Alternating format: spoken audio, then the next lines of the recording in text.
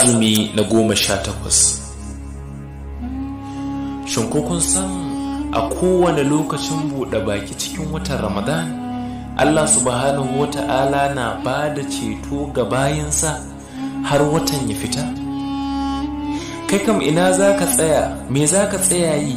Ka ƙi ƙoƙartawa da farantawa allah rai ta yadda za ka shiga cikin layin waɗanda ake ba wannan ceto?